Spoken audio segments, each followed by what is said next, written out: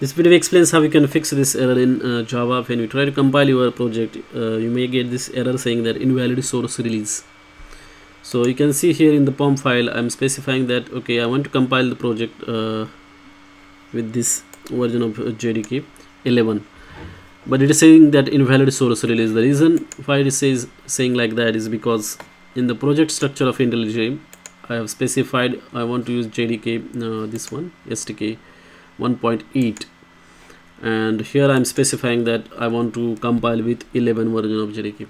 so obviously it is not possible because if you are using this Java version as 1.8 we will not be able to target our project to run on 11 version of uh, Java. So what you have to do here is that you have to install the latest version of uh, JDK so you can see there is I have installed two versions of JDK and I can uh, switch between them from here. So if I select 11 here and then click on apply then click on OK and now if I build this project this time it should be building the project without any errors because I'm using the JDK 11 so basically you need to make sure that uh, in this release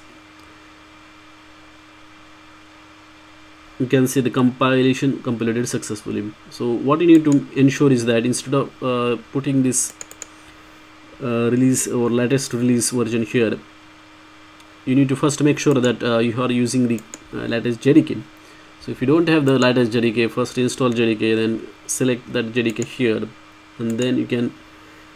target the latest versions of Java over there. In this uh, compiler plugin. Thanks for watching this video